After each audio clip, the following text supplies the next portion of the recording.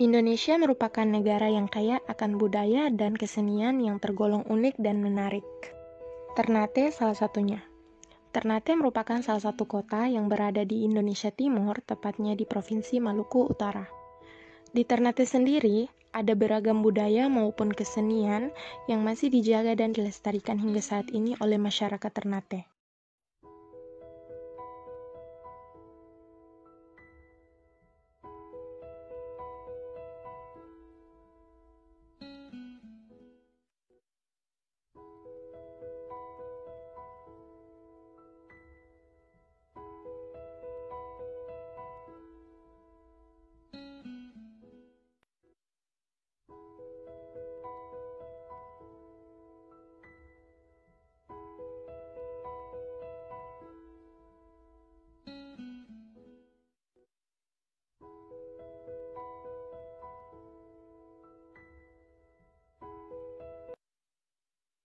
Tarian gala itu merupakan satu bagian tradisi kesenian orang Ternate.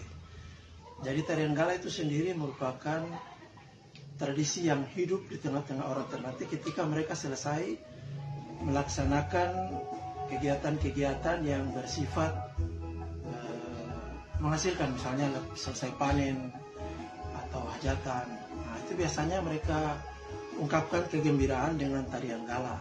Hmm tarian jadi dengan kata lain tarian gala adalah wujud kegembiraan orang Ternate pada saat mereka mendapatkan hasil panen atau mereka melakukan acara-acara keluarga. Jadi di siang harinya mereka panen atau melakukan acara keluarga, di malam harinya mereka me mewujudkan rasa gembiranya lewat tarian gala itu. Tarian gala itu sendiri di, dimainkan oleh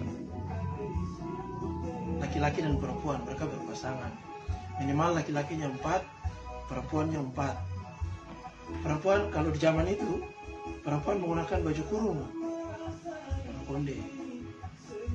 Kemudian laki-laki menggunakan celana panjang dan lipa. Uh, gerakan perempuan itu mengikuti irama suling.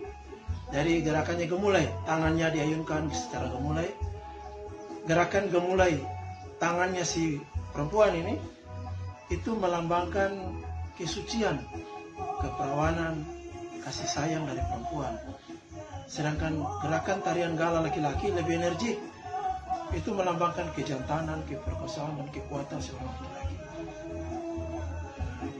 Perpaduan antara gerakan yang mendayu-dayu, yang pelan, yang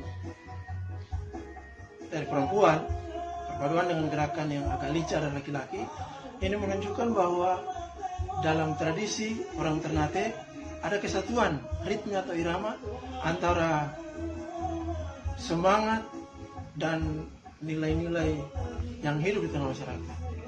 Nilai-nilai tadi dilambangkan dengan perempuan, semangat kebersamaan tadi dilambangkan dengan laki-laki.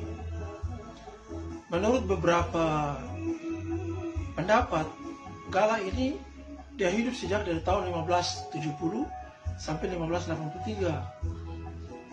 Nah, Papa kurang, kurang ingat di, di Sultan keberapa itu. Tapi di abad ke-16, tepatnya di abad ke-16. Tradisi tarian kala ini dia hidup. Kurang lebih seperti itulah.